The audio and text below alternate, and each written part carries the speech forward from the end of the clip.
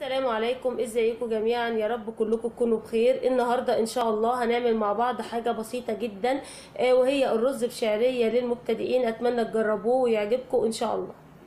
آه، دلوقتي هنبدأ إن إحنا نحمر الشعرية. هنحط حلة على النار آه، وفيها 3 معالق زيت. دلوقتي الزيت سخن معانا. هن... هنحط الشعرية علشان نحمرها. دلوقتي الشعرية اصفرت معانا. هي زي ما حضراتكم شايفين حمرناها كويس.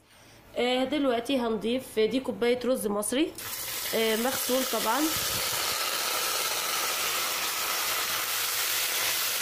آه، نقلبهم مع بعض ودلوقتي نضيف العادي كوباية الرز العادية. بتاخد كوباية مية بس عشان في شعرية هنحط كوباية ونص مية مليانين. أو اللي ما يعرفش يظبطها قوي إحنا بنحط المية لغاية لما تغطي. أول بعد العقلة الأولانية بحاجة بسيطة يعني كده. كده يبقى العقد بتاع الرز مظبوط. دلوقتي هنحط الملح.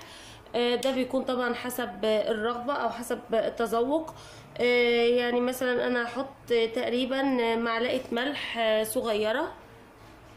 وكده بقى هسيب النار عالية عليه لغاية لما يتردد أو يشرب المية بتاعته. الرز معانا شرب المية بتاعته.